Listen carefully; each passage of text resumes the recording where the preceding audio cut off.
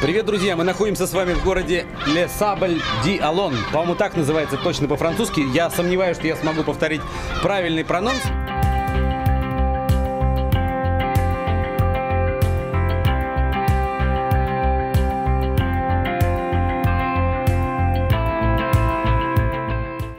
Друзья, нам поможет Расим Полоскин. Модное название медиа-менеджер, да? Медиа-менеджер. Команда Игоря Зарецкого. Расим просто очень сильно увлекается яхтингом, это в первую очередь. И поэтому я считаю, что на пирс надо выходить именно с его комментариями, потому что сейчас мы пойдем и посмотрим на лодки участников. 18 участников, правильно? 18, да. На самом деле они все еще не участники, если быть э, формально точным. Они э, кандидаты в участники, потому что только-только вот буквально завершилась техническая инспекция лодок, э, выдали замечания, и э, они должны их оперативно устранить, и тогда получится... То есть уча- есть замечания все-таки, да? Конечно. Единственный участник, э, сейчас покажу, по-моему, вот, стоит Кевин, из- который представляет здесь Австралию, два австралийца. Мы начали фактически с конца, потому что мы сейчас пройдем по всему пирсу, расскажем про все лодки, потому что давайте начнем с того, что что вообще за мероприятие. То есть это Golden Globe Race называется, правильно, мероприятие. И заключается оно в том, что 18 лодок стартует в кругосветное путешествие, двигаются без единой остановки за все время своего путешествия вокруг без света. остановки, без захода в порты, без помощи со стороны. То есть вот они 1 июля от этого причала отчалят, это знаменитый понтон One Day Globe. А, Отсюда стартует другая кругосветная гонка, более известная сейчас, но прародительница этой гонки была именно Golden Globe Race, которая прошла в 1968 году. И вот 50 лет спустя решили юбилейно повторить, и вот эти лодки отсюда отчалят 1 июля, пойдут вот туда, к выходу из Лесабель Далон, пересекут финишную черту и потом вернутся самое главное, самое главное, что они идут без остановки, без э, каких-либо дозаправки, по- понятно, потому что ее нет, потому что они идут на парусах, под парусами. Не просто без дозаправки, то есть, естественно, э, э, солярка, ну, то есть все лодки с дизельным двигателем. э, Но вспомогательный. э, Вспомогательный, да, ну, зап- э, зарядить батарею, там, э, запитать радиостанцию, но при этом ограничение в 40 американских галлонов для каждой лодки, то есть у всех одинаковое количество. Дозаправка топливом это все полбеды. Главное, что нет дозаправки водой и провиантом. То есть провиант загружается на лодку изначально, вода используется дождевая.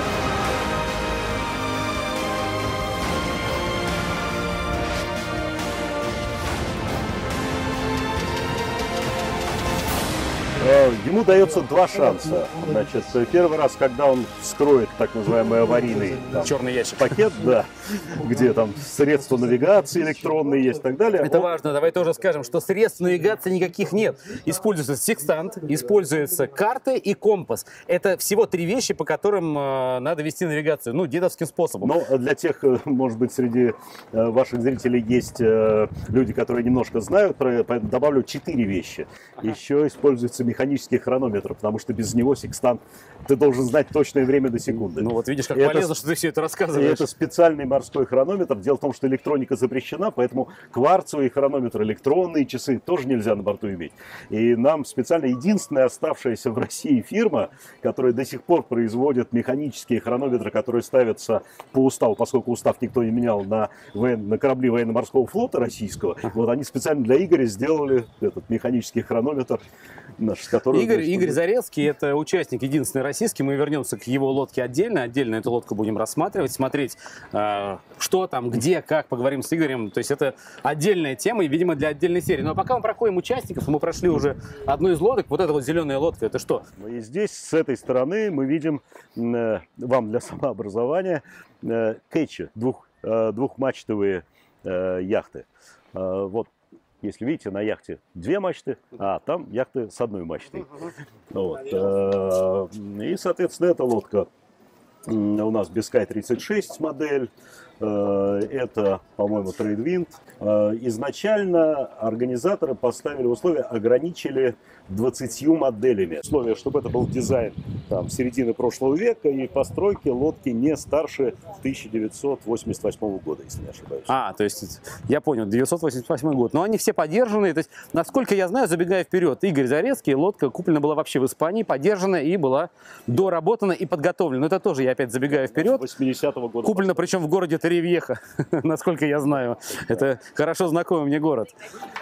Хорошо, значит, мы идем дальше. Солнечные батареи, я вижу, да, появляются Это на... обязательное условие тоже. э, пош- То есть, э, несмотря на то, что как бы ретро-гонка и условия вот, да, ограничений, то есть отсутствие электроники, отсутствие современных средств навигации, э, так непрофессиональному взгляду не видно. На самом деле все паруса, все веревки тоже середины прошлого века, никаких хай-тек материалов не может быть. То есть это не гоночные паруса. Но веревки, они же, они же могут истлеть, они теряют прочность. Это, да, ультрафиолет, он, конечно, Да-да, ультрафиолет. смертелен. Соль. Смертелен для всего этого, но тем не менее никакой динамы, никакой спектра вы здесь не Я не могу не удержаться, чтобы не акцентировать внимание на ирландском участнике. Это ирландская А, лодка. Да. И на ирландской лодке, видите, среди а, аксессуаров, которые считаются необходимыми, очевидно, для экипажа. Кстати, экипаж – это один человек, правильно? Это Один шкипер. человек, То есть да. один человек идет на каждой лодке. Это, а, ну, вы сами понимаете, это бочонок виски. Это Грегор, э, да, э, ирландец, единственный ирландец в этой гонке, ну, не считая организатора,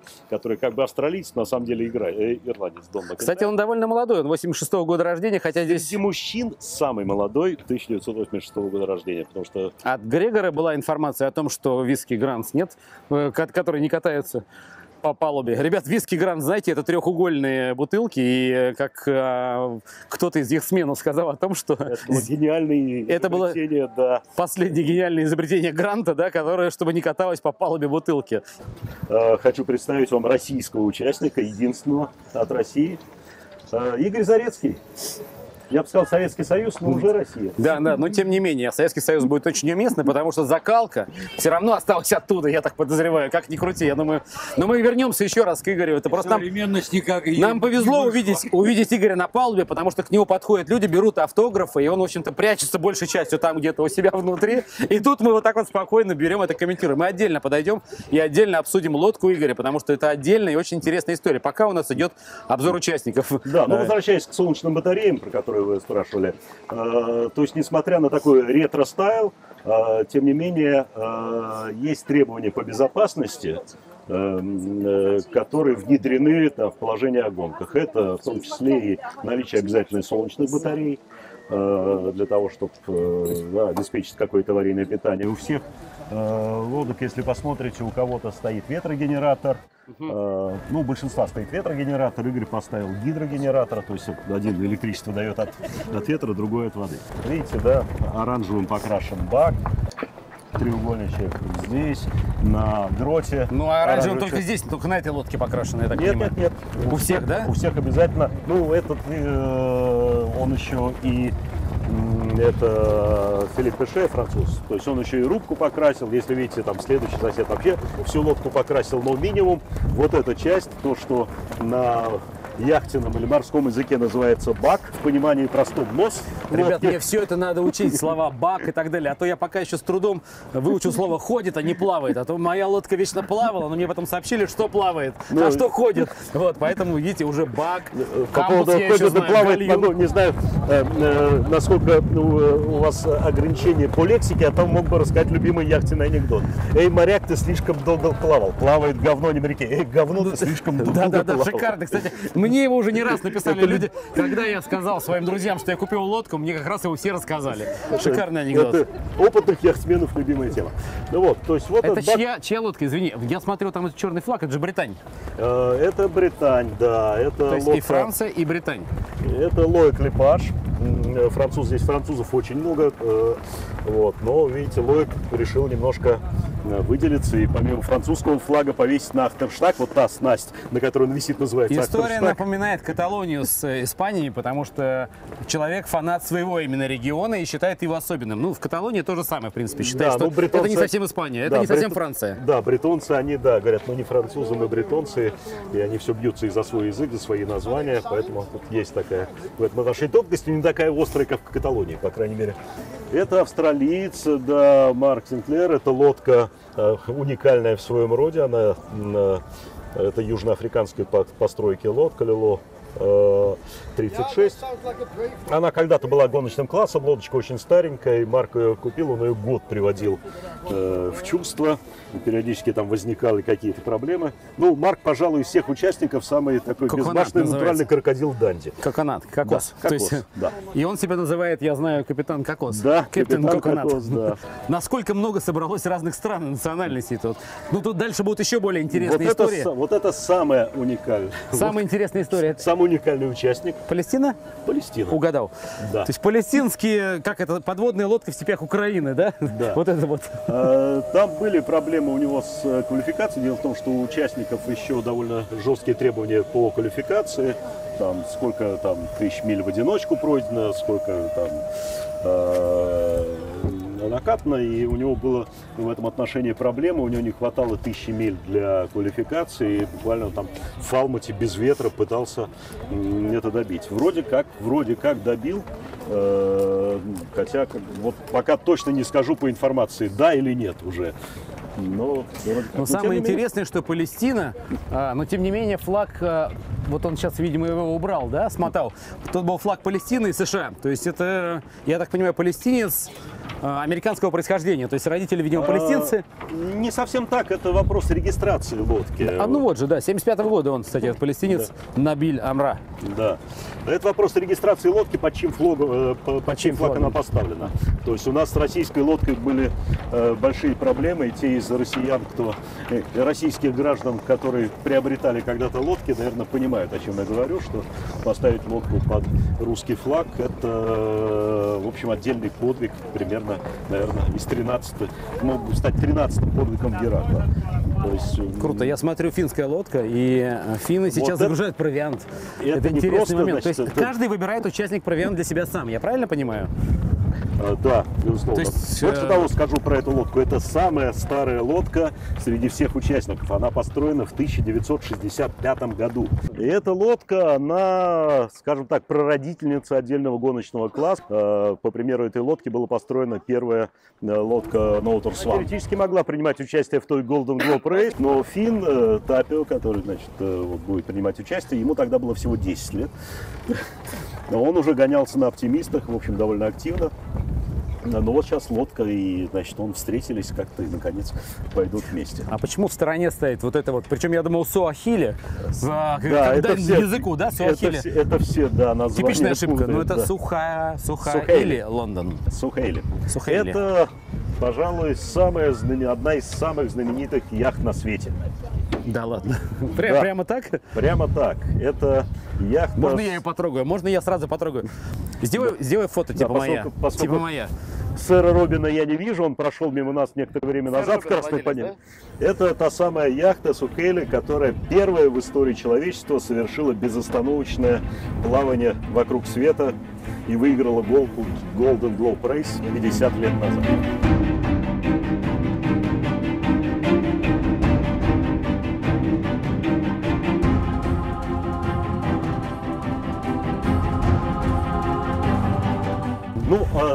Остановки. но если вспомнить, 68 год, там люди только-только в космос 60 летали, да, да? да.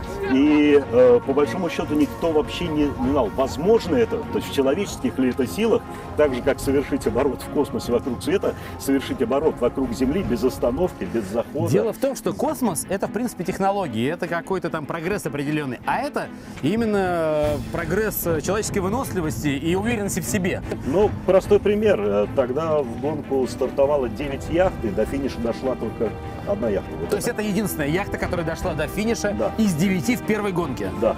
Ну, это настоящая легенда. Сэр Робин, он еще тогда не был сэром, он, собственно, в «Рыцаре» был произведен как раз э, за этот подвиг. Он собирался идти на другой, специально строить там лодку побольше, но денег не хватило, и его агент подписал договор с двумя издательствами на книгу, которую он напишет по результатам этого путешествия. На эти деньги он приобрел вот этот старенький, уже тогда старенький То есть это уже тогда было сильно БУ. да, уже тогда сильно БУ э, Кэч, тоже, ну, двухмачтовая яхта, это называется Кэч. On board, Robin Knox Johnston, who sailed her single-handed right around the world. The first man ever to circumnavigate the globe without a landfall. Suele joins Gypsy Moth and Lively Lady as one of the most famous boats in existence. By the name Robin Knox Johnston, Хоть все изучить. Кэч, бак.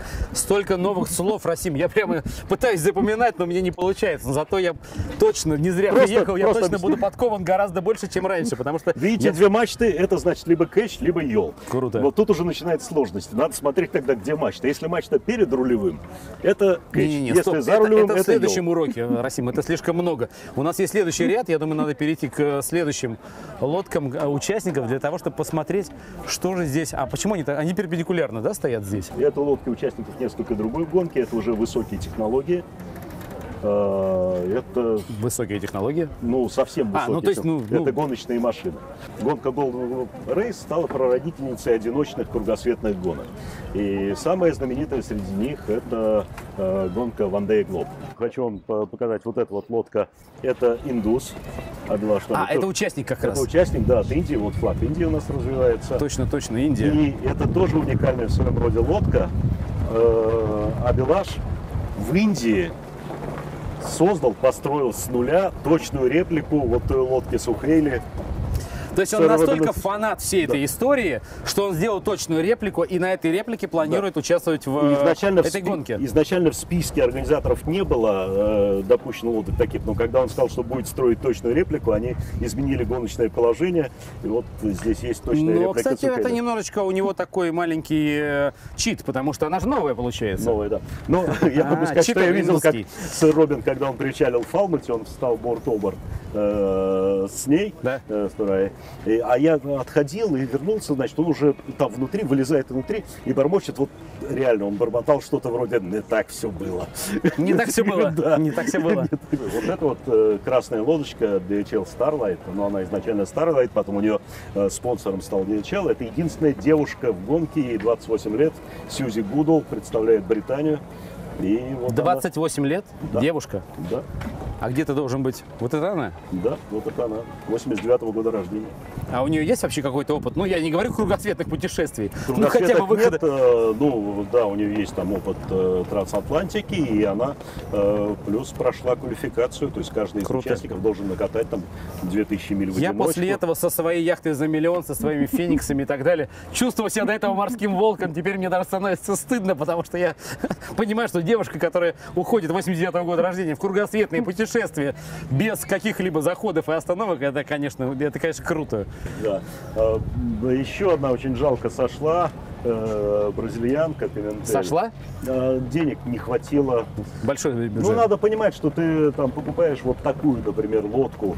Ну, условно, могу сказать, там 50, 60, там 70 тысяч евро. Да, ну, можно даже сторговать, да? Так. Ну, в зависимости, то есть можно, конечно, и дрова купить за 2000, но вопрос, сколько ты вложишь в это. Я могу сказать, что бюджеты, ну, вчера даже специально поговорили тут э, с нашими партнерами и будущими соперниками по Вантону, примерно кто сколько потратил. Могу сказать, что примерно средний бюджет подготовки, то есть ты купил подержанную лодку, но тебе надо подготовить ее к кругосветной гонке, и бюджет это порядка там, ну, 300 тысяч евро. где-то 300 так. тысяч. Да. То есть я бы э, не назвал это таким демократичным. Конечно, по сравнению с миллионами, которые вкладываются в гоночные болиды, э, это да, очень демократично. Вот норвежец стоит у нас, Аревик. У него, да, он продал дом, то есть жена у него спонсором стала, они продали свой дом, купили дом поменьше. Я так понимаю, что многие люди, то есть строили. кроме того, что есть очень молодые, есть еще люди пенсионного возраста, потому что Ну, большинство все-таки, конечно, здесь такие старые. есть же такая там. теория, что стукнуло 60, пора в кругосветку. Ну да, да, да.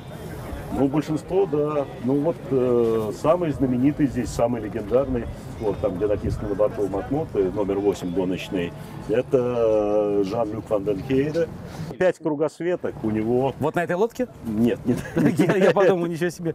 не на это. У него до сих пор не побитый рекорд э, по скорости перехода, э, Ну, как дядька говорят, такой против, морской волк, прям видно даже по фотке, что против морской волк. шерсти, так понимаю, против господствующих ветров и течений, это вообще мало кто сделал. Э, И он тут установил А, рекорд по скорости Это та самая лодка, точно, я же слышал мельком, но подробностей не знал о том, что действительно существуют какие-то течения, определенные ветра, которые дают, ну, в общем, в одну сторону земной шар обогнуть гораздо проще, чем в другую, Да. правильно? То есть если, господствующие если грубо ветра и говорить. течения, они дуют с э, запада на восток. идут.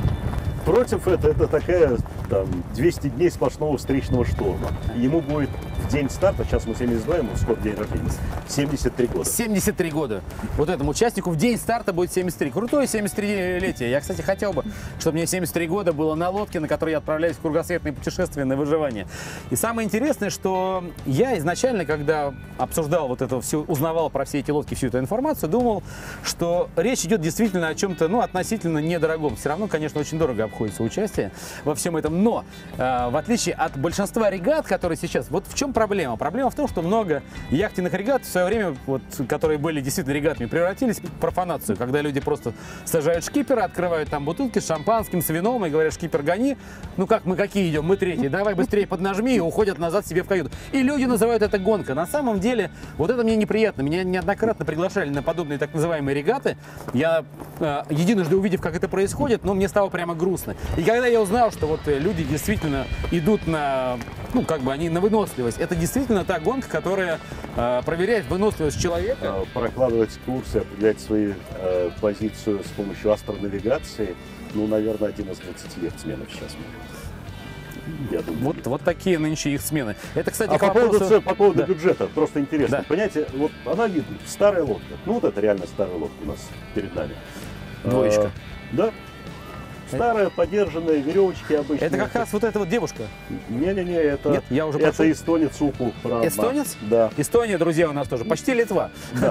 Ну, страны Балтии, тем не менее, Но тоже надо участвуют. понимать, что вот э, каждый блочок или веревочка для яхты, особенно когда ты готовишься для такого серьезного сурового испытания, это серьезный бюджет. Вот, например, э, как думаете, сколько стоит вот это вот висит на гике вот такой блок? Один. Но я, я знаю, что все для яхты вообще для морского дела стоит очень дорого. Я, в свою очередь, когда делал свою яхту за миллион, так называемую, меня периодически, мне нужны были какие-то тросики, мне нужны были какие-то болтики, я шел в яхтенный магазин, видел цену 20 евро, 30, 40, потом шел там в Леруа Мерлен, ну и покупал то же самое из нержавейки, ну не совсем, конечно, то же самое, но для моих путешествий это было нормально. Я подозреваю, что здесь в Леруа Мерлен никто ничего не покупает, Да. поэтому я даже не буду предполагать, скажи, сколько стоит этот блок. 450 евро. Отлично. Ну, потому что ты в итоге в гонке ты от всего этого зависишь, от того, от качества э, материала, с учетом ограничений, опять-таки, на высокотехнологичные материалы. Э, И оно все критично, в море к тебе никто, кроме тебя, на помощь не придет.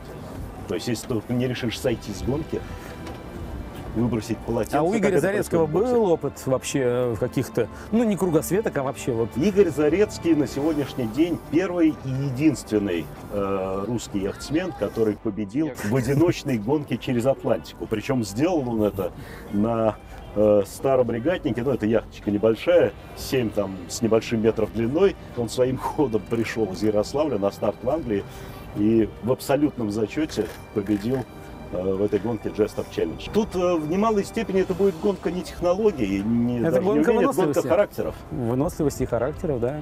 Э, Запланировано, сейчас сократили, было 4, сейчас запланировано э, две точки сброса. То есть, когда э, Игорь э, должен первый пройти там прибрежный знак у Лансарота на Канарах, там без остановки он просто проходит э, этот прибрежный знак, а лодка организаторов, ну и я тоже поеду, э, там на катере выйду в море, он с бортом, он- ему на борт передавать нельзя ничего. Ну, Он с естественно, я борт- только хотел сказать, что это как опять читерство какое-то. Да. Лодка подошла, там ночью передала водички, пивка там и Да. так далее в разных Вот. островах. Он с борта может передать э, видео, фотоматериалы, там, ну, записки. то есть что- какие-то регламент, по- позволяющий передать информацию. Да, то есть, соответственно, мы надеемся, что он карточки, то, что отснимет в эти там первые 10 дней, э, секшн камер просто нам перекинет с борта, и мы сможем использовать. А вторая точка у него только в штормовой бухте на Тасмании. Это где это если он должен И когда закончится, какая продолжительность?